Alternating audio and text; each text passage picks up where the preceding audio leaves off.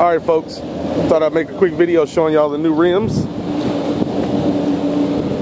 I uh, they were originally chrome, the 22s. I plastic dipped them. I still need to do a few more coats, but I think it looks pretty pimp. New paint jobs coming next week. It's gonna be a surprise. It's gonna be pretty extreme. Thought I'd show you guys the new rims real quick. Looks much better, I think.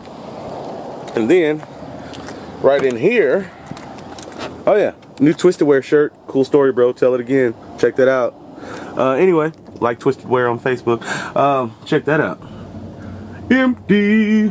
Thanks to my boy Buddy and the Sawzall. It happens. It happens, you know, you know. So we're all empty in here. Got a couple more cans of plastic dip. Getting ready for this fourth order bandpass build. I'm getting a design from Robin Butler of Bassheads ENT. That guy's a fucking monster. With his design, I can't go wrong. Fourth order bandpass, four BD15s. I'm doing a build log this time around, people.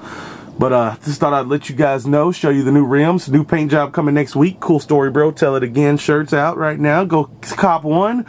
Uh, what else? What else? Oh yeah, I only got two DAD KMH 15s left. I'm letting them go cheap, people. 160 shipped a piece. Get at me. 160 shipped for some badass woofers.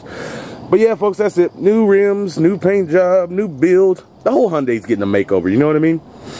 So uh, yeah, that's all I got, people. You stay sexy, YouTube.